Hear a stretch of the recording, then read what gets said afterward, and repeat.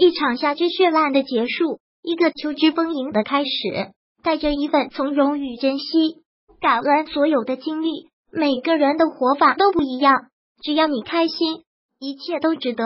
愿流年不负，时光不悔，微笑依旧如花。请你相信，那些韬光养晦的艰难日子，都是在为你某一天的幸福做铺垫。心里有期待，然后默默努力着，那件叫做以后的事，就会开出花来。愿你的快乐与岁月无关，愿你的纯真与经历无关，愿衣襟带花。